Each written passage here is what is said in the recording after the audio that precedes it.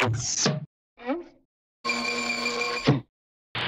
fucking serious here for a minute. This winter is shaping up to be the warmest winter on record. Some say it's global warming, some say it's El Nino, whatever the f that is. The point is, the fucking polar bears are melting, sea levels are rising, and the goddamn penguins don't even have enough ice to stand on. The worst part of it all, I am not going to get any fucking snow this year. Awesome. Thanks, Obama. No snow forts, no snow men, no snow nothing. But hold up, what is this? Zyma and a bunch more of you suggested the fake snow pin. You don't say. Fuck it, if your weather system's not gonna make it, fake it. Pinometer? You better get used to the heat, because you're probably going to hell. Touche. Well, I picked up the only two ingredients that I needed, baking soda and shaving cream. And now the directions are pretty simple, you just mix both of them together. That's, uh, that's it. It's real fucking messy at first, but then it kind of starts, uh, I guess turning into something. Something like snow, I guess.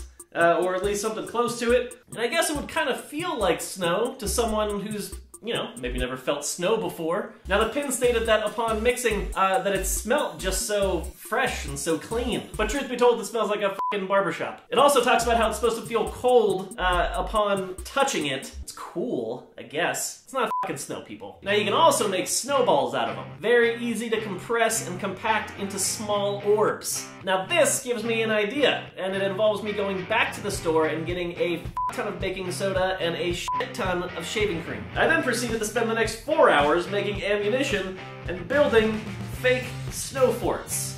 You, are you fucking ready?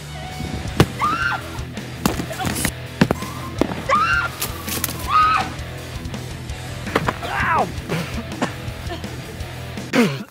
it's in my mouth. Ow, It's in my mouth. Ow!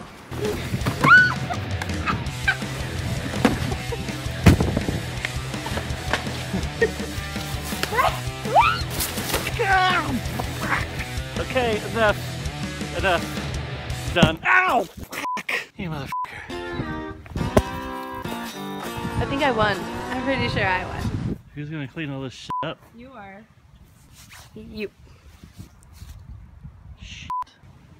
That is all we got for you this week. I know that a lot of you have been asking for more episodes here on the channel, and we are going to be giving you that starting next week with a brand new series that we are debuting called Hack Job. That is where we take on various life hacks and we see if they can be done in a typical Threadbanger fashion. So definitely be sure that you are subscribed for that. Also, Man vs. Pin, Corinne vs. Pin, still going strong. However, we are tapping the bottom of the Pinterest barrel. It's been a couple years. I feel like I've done every single fucking Pinterest project that there is. Which ones do you want to see? Let me know about them, and I'll see you around here next week. 2016, everybody! 2016.